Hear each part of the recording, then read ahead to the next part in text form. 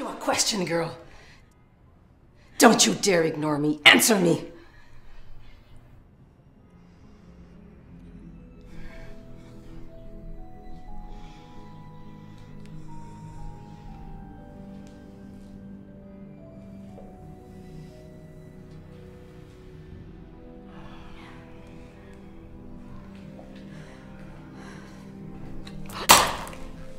Now look what you made me do. Suicide treaty or not, I'll do what I have to to get what I came for. You need my family, Valentina. We're the only ones who know how to make the Winterthorn. Your husband and my uncle stopped making it years ago. Did you make an omelet out of your brain for breakfast this morning?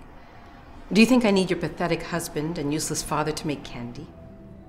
Maybe not the candy itself, but we're the only ones who know how to mix it with the Winterthorn. Without it, the candy won't taste as good. Taste good?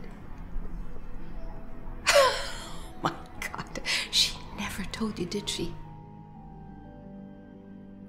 At least I had the decency to tell my daughters about what Winterthorn actually does.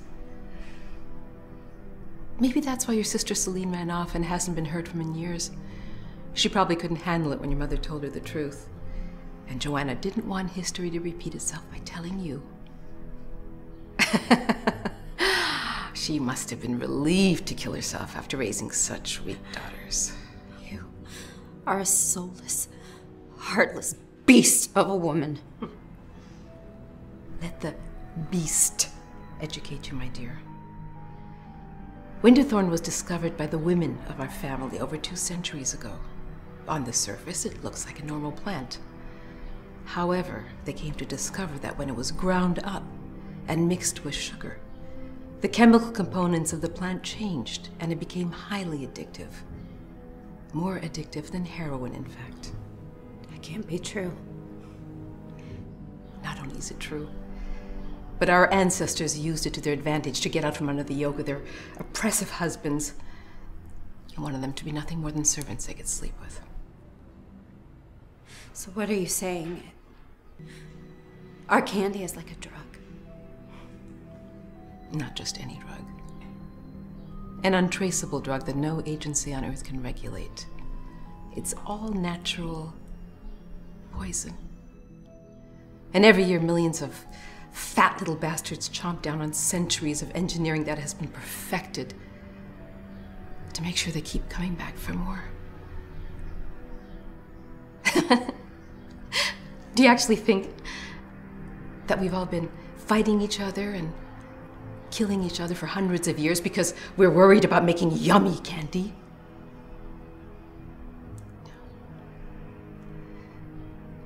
We did it so our daughters could have the kind of unbridled freedom most women only ever dream of. My mother. Your mother was a grade A bitch, a control freak,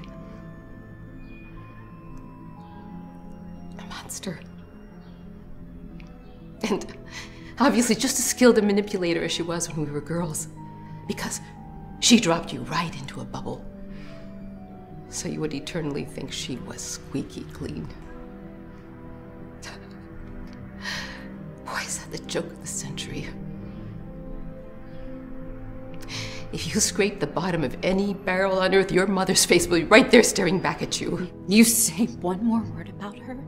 One more word, and I will show you who the bitch in this family is. Strong words from a vapid little China doll. Leave right now! Your mother was given seeds from our great grandmother when she was a little girl. I was told to hide them from us.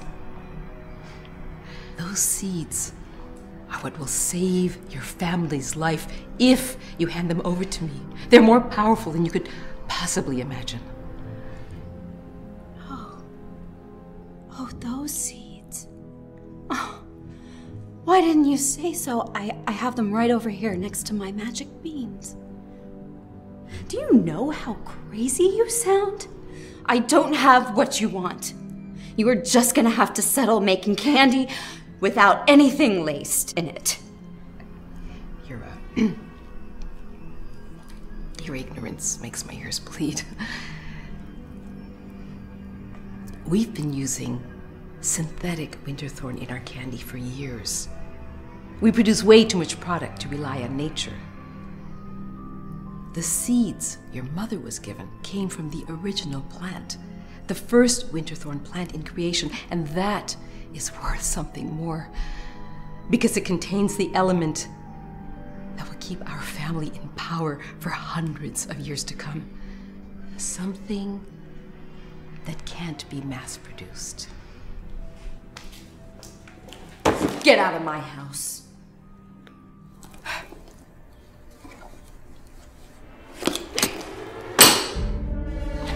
Brought me to this. I really didn't want it to be this way. But I'm gonna take this family into the future with or without you. Your sisters will never let you get away with this. Well, obviously they aren't gonna be able to stop me. After I'm finished with you, who should be next? Should I wait for your husband to get home? Maybe your dear sweet daddy.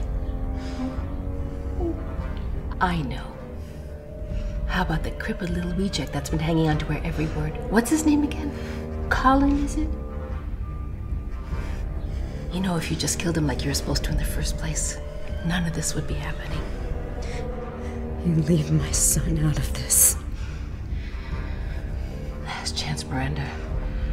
Our family is running out of time. We need those seeds.